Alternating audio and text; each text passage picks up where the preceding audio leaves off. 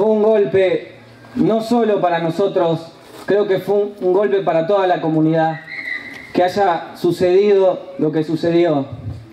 Es muy doloroso para nosotros ver a toda la gente acá reunida y que tenga que ser justamente por una tragedia, por algo tan horrible.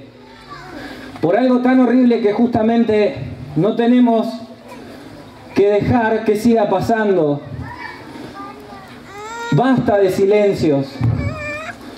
La consigna justamente tiene que ver con terminar con esta violencia. Es muy fuerte para nosotros, para los compañeros, hoy tener que entrar al aula y que Laura no esté. Es muy complicado, es muy difícil que sus sueños hayan quedado vacíos o que tuvieron un límite, que ese límite no lo puso ella, se lo pusieron. Que Laura hoy no esté nos movilizó.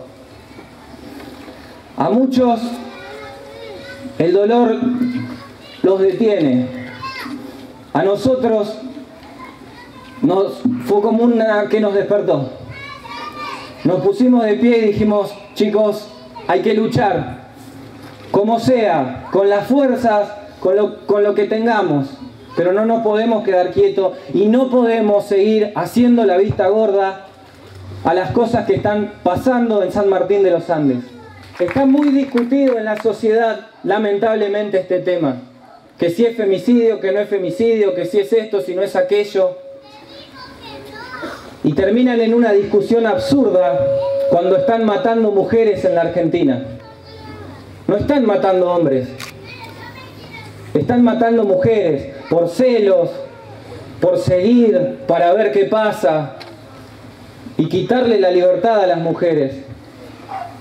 Y como sociedad no nos podemos quedar con los brazos cruzados o atrás de un teclado, porque las cosas no se ganan atrás de un teclado, se ganan en la calle, porque es muy fácil escribirlo y hacerme el, combativo y que, y que yo cambio las cosas. Pero mientras tanto la violencia la vivimos en la calle. A Laura la queremos mucho. Y sé que Laura está acá hoy. Pero no tenemos que dejar que hayan más Lauras. Y mucho menos en San Martín de los Andes, donde por suerte nos seguimos conociendo todos.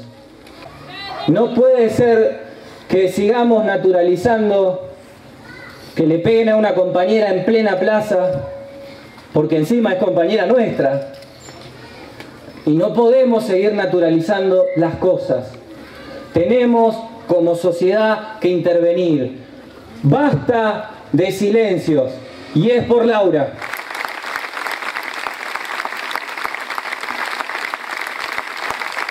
Esta marcha es una marcha de repudio, no es una marcha de silencio, repudio al asesinato de nuestra compañera, amiga, vecina, Laura Vázquez, una persona con un mundo interior maravilloso, tenía muchos proyectos. Estoy segura de que muchos de sus amigos están acá hoy presentes con mucho dolor.